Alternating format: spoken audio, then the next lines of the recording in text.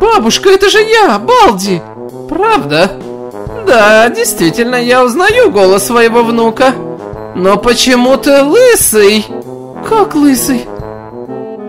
Ах, да я же лысый как колено, как шарик, или даже как дельфин, как лысый бубен. Я лысый как попка младенца. Учитель Балди, скажите, пожалуйста, а почему вы лысый? Сама ты лысая. Почему вы так реагируете? Я просто поинтересовалась. Прости, просто это больная тема для меня. Ладно, давайте тогда не будем об этом. Кстати, урок окончен. Можете идти домой. Ура! Нужно поторопиться. Я сегодня еще в игру хочу поиграть. Не торопись, успеешь. Ты не понимаешь, у нас сегодня в игре весь клан встречается. Будем атаковать другой клан. Постой, ты забыла тетради. Это все от спешки. Так, я вынужден задержать вас ненадолго, чтобы рассказать вам одну историю из своего детства. Но вы не имеете права. Уроки закончились. У меня игра. Это в твоих же интересах. Слушайте. Однажды родители меня оставили у бабушки на каникулы. Ну почему я не могу поехать в Египет с вами? Балди, ты не понимаешь. Это ужасно скучное занятие лежать на пляже под солнцем. День за днем, день за днем. Ну, у бабушки мне еще скучнее. Тут совсем нечем развлечься. Я согласен скучать с вами на пляже. Возьмите меня с собой. Мы с мамой ожидали такой реакции, и поэтому приготовили для тебя сюрприз. Вот эта игровая приставка скрасит твои каникулы. Ура! Но не забывай также читать книги. Играй всего пару часов в день. Договорились? Ага.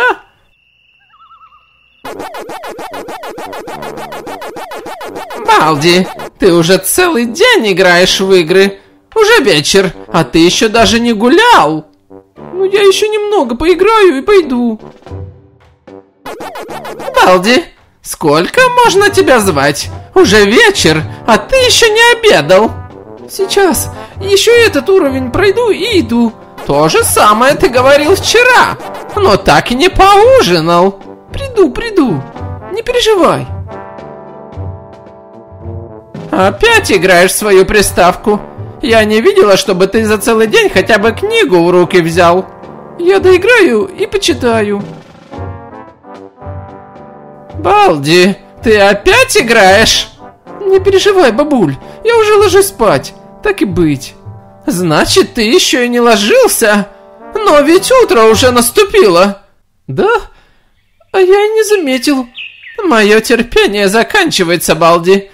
Ты целую неделю практически не выходишь из своей комнаты и только играешься в приставку. Не гуляешь, не кушаешь нормально, не читаешь книги, мало спишь. По-моему, ты деградируешь. Бабушка, ты просто старенькая и не понимаешь, что игры развивают. Вот, посмотри. Чтобы выйти из этого лабиринта, мне приходится напрягать свои мозги.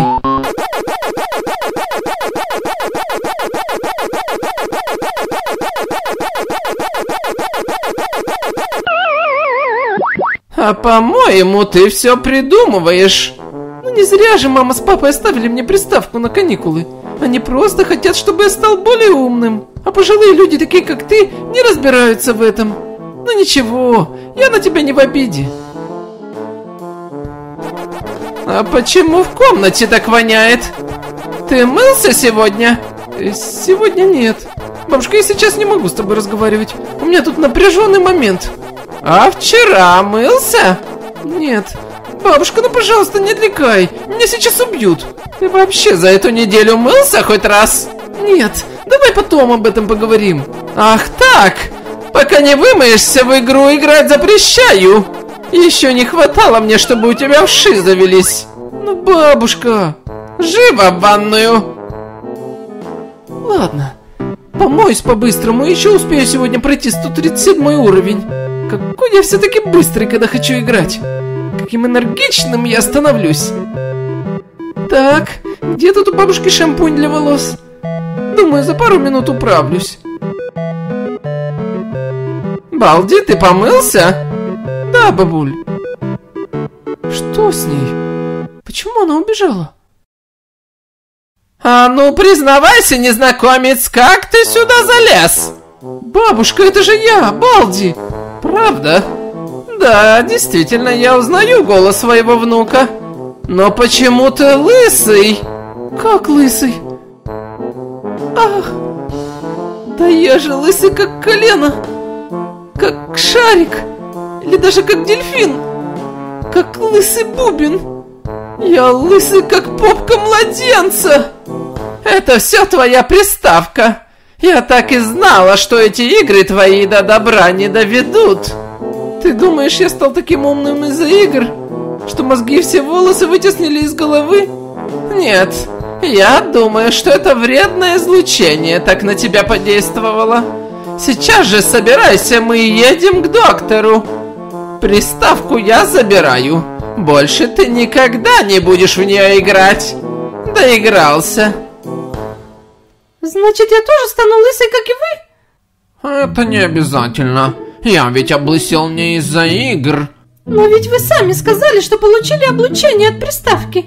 Так думала моя бабушка, но когда врачи проверили меня, то выяснилось, что я совершенно здоров. Значит, все-таки мне можно играть? Можно, но должен предупредить тебя, что умнее от этого ты не будешь становиться. Скорее наоборот. Но все же, почему вы стали лысым? Позже выяснилось, что когда я спешил быстро помыться, чтобы скорее вернуться к игре, я перепутал шампунь с бабушкиным лосьоном для удаления волос. Это все твоя спешка виновата, Балди. Да, конечно, я виноват. Но скажи мне, пожалуйста, зачем тебе средства для удаления волос ног? Ты же старенькая бабушка. В любом возрасте хочется быть красивой, Балди. Теперь ты понимаешь, почему я тебя задержал? Не нужно все делать в спешке. Сейчас ты забыла свои тетрадки, а подумай, что может произойти, если ты спеша поиграть, невнимательно будешь переходить дорогу и не заметишь мчащийся на тебя автомобиль. По сравнению с этим, мое облысение покажется не таким уж и тяжелым наказанием. Я вас поняла, мистер Балди. Спасибо вам за совет. Впредь я буду очень внимательна. До свидания. А тетради-то забыла. Автор идеи этого мультфильма Карл Саган.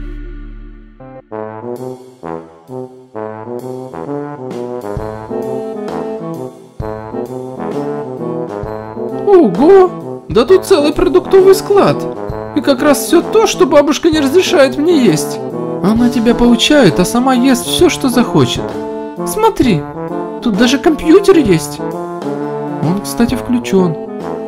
Твоя бабушка YouTube смотрит. Канал Хихихаха. Вот видео. Хихихаха, хихихаха, ха-ха-ха-ха. Хихихаха, хихихаха, хи-хи-хи-хи. Что за тупость? Да ты погоди. Наверное, сейчас какая-то шутка будет. Хихихаха, хихихаха. Хо-хо-хо-хо. Хихихаха, хихихаха. Хо-хо-хо-хо. Я же говорил тупость. И это смотрит твоя бабушка. Причем один и тот же ролик каждый день. А мне, главное, запрещает.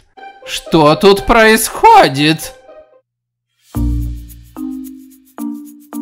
Всем привет! Сейчас я прочитаю 10 случайно подобранных приветов, но перед тем, как это сделать, я хотел бы объявить конкурс на лучший сценарий. Напишите в комментариях очень кратко, захватывающий и логичный сюжет к мультфильму. Вот внизу образец. Автора лучшего синопсиса, на мой взгляд, я укажу в титрах кролику. Ну а теперь перейдем к приветам. Поехали! Почемучка, привет. Попробуй не сделать привет. Лав Фламинго, привет. Принцесс Луна, Принцесс Луна, привет. Юлечка Решетила, привет. Ксюша Евстигнеева, привет. Маргаритка Лозинская, привет. Мистер Фрейзи, привет. Фомина Вика, привет.